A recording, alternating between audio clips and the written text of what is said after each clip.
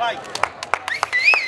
È stato il decimo taglio del nastro per Pescaiola da Vivere, la grande festa di inizio estate targata Confcommercio. I negozi di vicinato per noi sono importantissimi, noi sempre, ci siamo sempre battuti e cerchiamo di fare anche politiche per far conoscere i negozi di vicinato, per far sì che questi possano continuare ad esserci, non solo per il servizio per tutta la popolazione, ma anche come presidio sociale, perché quando si spenge una luce in una strada è chiaro che questo incentiva la microcriminalità criminalità, per cui arriva il degrado e l'abbandono. Una serata attesa dai commercianti della zona, diventata ormai simbolo per tutto il quartiere. Abbiamo dei quartieri che sono più frazioni quasi che quartieri, sono quasi micropaesi, no?